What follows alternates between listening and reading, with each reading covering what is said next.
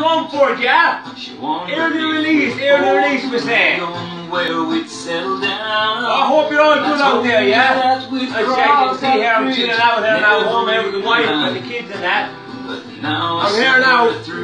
Hang on. I'm here now, listen. I'm here at home in the old yard, yeah? And I hope you can see, look, ah. Because the, the old weather here is funny, look, ah.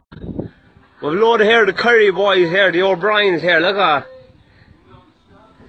Where are they now? All the boys here has gone to work here, look, ah. You've loaded the boys here. A couple of old renters here up in the yard.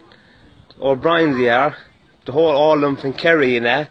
Good old fellas here now. Wanted to meet them. I wanted to get out of jail and that now. And, um, the mall here, and like, um, what can I say? Fucking.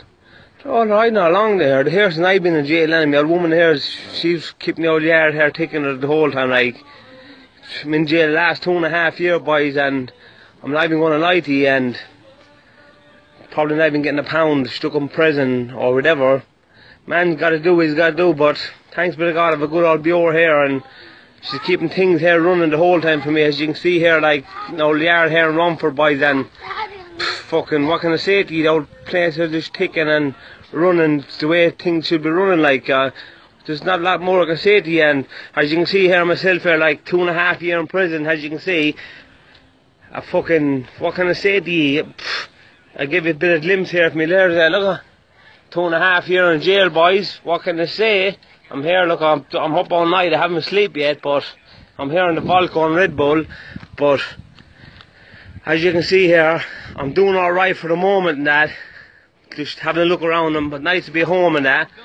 Very nice to be home and that and just having a look around the old place and that fucking work man, fucking fucking a lot of work got to be done. It's a good good job like the daddy's home like fucking places just kind of like as you can see the grass that's just kind of a bit of waste. Like we're fucking hell. We've we left me all a long time ago. Like fucking the, the, the green grass there. Like fucking hell, man. But that's no need. That's we don't need that, do we?